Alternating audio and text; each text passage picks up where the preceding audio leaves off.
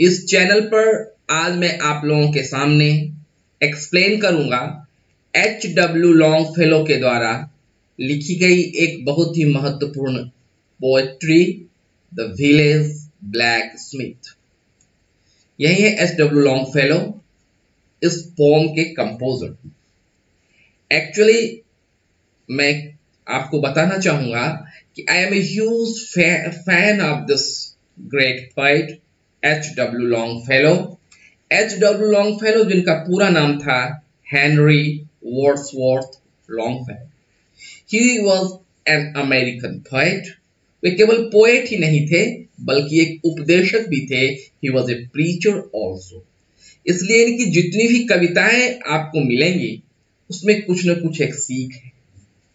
यह भी कविता, जो कि एक बैलेड है. बैलेड मतलब वैसी कविता जिसमें कि कविता के माध्यम से एक स्टोरी पोएट हमें सुनाता है so here is the story of a village blacksmith और इस पोएट्री में इन्होंने प्रेज किया है he has praise to those who do hard work but never get recognition.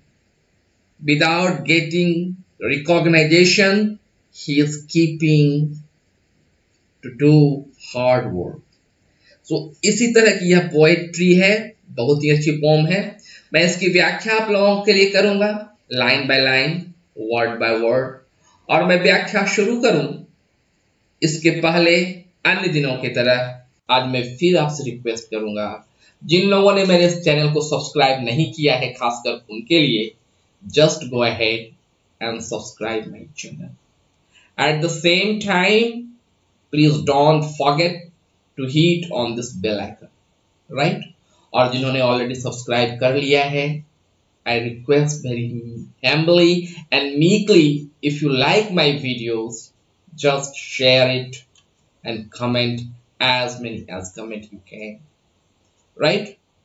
यह पोम बैलेड है जैसे मैंने आपको बताया टोटल इसमें कितने स्टेंजाज हैं? One two three four five six seven eight eight stanzas हैं और every it stanza contains one two three four five six six line तो eight into six total forty eight lines की यह poetry है. ठीक है? इसका मीटर एम्बिक है. एम्बिक मीटर में क्या होता है? कि एक स्ट्रेस और एक अनस्ट्रेस साउंड होता है इसमें। तो चलिए आज इस कविता की व्याख्या मैं आप लोगों के लिए करूँ। Under a spreading chestnut a tree village smithy stand the smith a mighty man is he With large and sin and sinewy hands, and the muscles of his brawny, uh, brawny arms, are strong as iron bats. So this is the very first stanza of this poem. Poetry के शुरुआत में ही poet हमें introduce करा रहे हैं किससे? Blacksmith से। Blacksmith मतलब क्या होता है? जो लोहे का काम करता है। हिंदी में कहें तो लोहार कहलाता है। ही इज़ फेयर तो आज इसी से हमारी परिचय करा रहे हैं पोएट इस फ़र्स्ट स्टेंजा में और कहते हैं कि कैस्क्यूनट मतलब काजू के पेड़ के नीचे, गाँव में स्मिथी मतलब वर्कशॉप एक वर्कशॉप खड़ा है किसका? स्मिथ का। वह कैसा है? वो माइटी मैन है, ताकत वाला आदमी है लार्ज एंड सैनवे हैंड्स उसकी हाथें किसी है? बड़ी हैं और मज़बूत हैं। And muscles of his brawny arms are strong as iron land उसके हाथ के जो मसल्स हैं, कैसे हैं? आयरन के तरह स्ट्रॉन्ग है। यहाँ पर देखिए एज आयरन से इसका इन्होंने कंपेयर किया है। तो जब कंपेयर एज या लाइक लगाकर किया जाता है तो उसे हम क्या बोलते हैं? सिमली तो यहाँ पर सिमली डिवाइस का यूज़ किया है पोएट ने। राइट पहला स्टेंजा समझ में आ गया? चलिए मैं नेक्स्ट स्टेंजा दूसरे स्टेंजा की ओर जा रहा हूँ। यह है आपका दूसरा स्टेंजा और इसमें पोएट इंट्रोड्यूस करा रहे हैं उसके फेस के बारे में, उसका अपियरेंस के बारे में कैसा है। His hair is crispy crisp and black and long उसके हेयर कैसे हैं? काले हैं, उलझे हैं और लंबे हैं। क्यों? क्योंकि वह दिन भर सूरज के नीचे काम करता है, गर्मी में काम करता है। साथ ही साथ उसका फर्नेस अगर आपने देखा होगा तो ब्लैक स्मिथ के यहाँ एक फर्नेस होता है। उस फर्नेस में वह आयरन को गर्म करता है।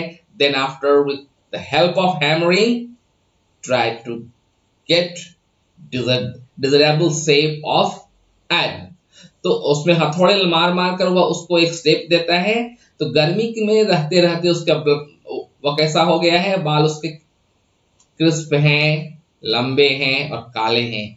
His face is like tan tan मतलब ब्राउनी ब्लैक फर्नेस के साथ काम करते करते उसके चेहरे भी झुलस गए हैं। यह बता रहा है पोएम में यहाँ पर हमें poet his brow is wet with honest sweat बहुत सुंदर है। उसके जो आईब्रो है, उसके ऊपर क्या है? ऑनेस्ट स्वेट पसीने जो है, ईमानदारी के पसीनों से भींगा हुआ उसका आईब्रो है he earns whatever he can he earns as per his capacity जितनी उसकी कैपेसिटी है उतना वो अर्न करता है and looks the whole world in the in the face for he owes not anyone क्योंकि वह किसी का कुछ उधार ही नहीं लेता है वो मतलब कर्ज लेना he is free from any kind of obligation so that now he looks the entire world in the face वो पूरे संसार को एक ही दृष्टि से देखता है, उसे किसी का से ना तो ज़्यादा लगाव है, ना तो किसी से उसकी कोई अपेक्षा है, वह ईमानदार है और पूरे संसार को एक दृष्टि से देखता है। Right so we have completed the two stanzas let's proceed into the third यह रहा आपका third stanza from this point to that आगे बता रहा है week in week week in week out from morn till night morn यहाँ पर morning का शॉर्ट फॉर्म है। You can hear his bellows blow क्या कह रहा है? सुबह वीक इन वीक आउट सप्ताह आते हैं, जाते हैं। सुबह से लेकर नाइट तक, अधिकतर लोग शाम तक काम करते हैं। But this person is working till night आप क्या सुन सकते हैं? You can hear his bellow bellow मतलब हैमर ब्लो मतलब प्रहार। हैमर से जो हैमरिंग करता है, उसके साउंड को आप सुन सकते हैं। You can hear him swing his heavy sledge swing मतलब ये लाना। स्लेज मतलब ये होता है हैमर उसके हैमर स्लेज को, है ना, आप क्या कर सकते हैं? सुन सकते हैं with measure beat and slow like sexton sexton क्या होता है भाई? सेक्सटन एक चर्च का एम्प्लॉय होता है जो घंटी बजाने का काम करता है चर्च में। तो like sexton ringing the village bell when even sun is low जब सूरज लो हो जाता है, हमें समय की पहचान नहीं होती तो समय की पहचान बताने के लिए जो चर्च में घंटे बजते हैं, उसी तरह का यह घंटा बजा रहा है। कौन? ब्लैक स्मिथ कहा अपने हैमर से? When he hammers on the red hot iron to get the desirable shape so this incident hammer the incident of hammering of this blacksmith here compare with the sexton तो यहाँ पर भी like का use हुआ है। तो यह भी आप देख रहे हैं कि सिमली का यूज़ यहाँ पर पोइट्री किया है। Next standard and children coming from the from school look in the open door they love to see the flaming forge and hear the bell roar and catch the burning spark that fly like chaff from threshing floor देख लीजिए बच्चे जब school से आते हैं तो due to the full excitement look in to the door to see the work of this blacksmith right बच्चे आते हैं तो क्या देखते हैं? खुले डोर से इसका, इसके काम को देखते हैं। They love to see the flaming forge निकलने वाली जो आग है फॉर मतलब? फॉर्ड मतलब क्या होता है? उसके वर्कशॉप से जो निकलने वाली आग है उसके फर्नेस से उसे उसको देखने में बच्चे को बड़ा आनंद मिलता है। और उसे कैसा लगता है? फिर देखिए लाइक का प्रयोग सिमली है शेफ फ्रॉम थ्रोसिंग फ्लोर जैसे कि आप गेहूँ से जब दाने निकलते हैं तो उसकी भूसी अलग हो जाती है। Similar type of experience similar type of feeling childrens get children get here when they the fire the in this workshop right next stanza he goes on sunday to church and sit among his boy. He hears the persons pray and pre and preach. He hears daughters' voice singing in the village choir and it makes his heart rejoice. यहाँ तक इस stanza में के माध्यम से poet ने हमें दिखाया he is very laborious person now he introduce in this stanza saying that he was not only religious वो केवल religious person sorry he was not only a worker but he was a religious person as well वो एक religious person था. Like other people he goes to church on every Sunday वहाँ वो बैठता है और हियर करता है क्या प्रिच को, प्रिच मतलब उपदेश को सुनता है whatever the father in the church preaches for doing good things, he listen. He listens.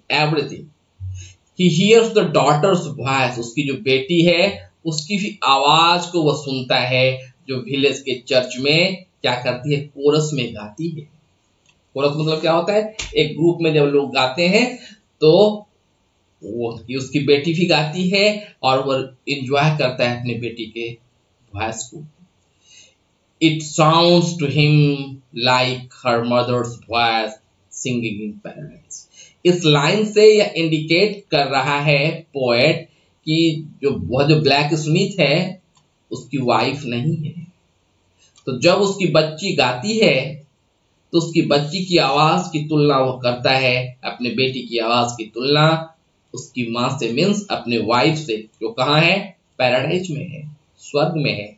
This line indicates that presently his wife is no more He needs must think of her once more how in the grave she lies. Nostalgic हो रहा है यहाँ पर। Black Smith nostalgic मतलब अपनी पुरानी यादों में खो रहा है, उसे याद पड़ रही है अपनी वाइफ की, जो सोई हुई है कहा? ग्रेव में। And with his hard rough hand he wipes a tear out of his wipe मतलब पहुँचता है। वह शरीर से तो मज़बूत है। वह बहुत हेल्दी बताया गया है। बहुत माइटी है वह। स्ट्रॉन्ग बॉडी है, लेकिन उसके हार्ट में सेंस भी है। है ना?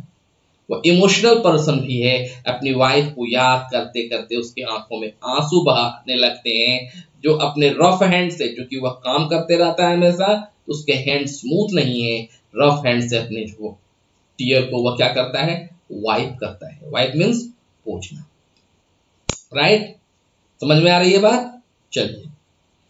ट्वाइलिंग rejoicing शॉरोइंग on words through life he goes each morning sees some task begins each evening sees its close something attempt something done he earned night's report ठीक है इस स्टेंजा के माध्यम से जनरलाइज किया है जो एक ब्लैक स्मिथ का जो करेक्टर है यह लगभग हर एक सिंपल हर एक जनरल पीपल का यही लाइफ स्टाइल है। क्या है? ट्वाइलिंग मेहनत करना। आफ्टर दैट रिज्वेसिंग मतलब कुछ मौज मस्ती करना और फिर दुख हो जाना।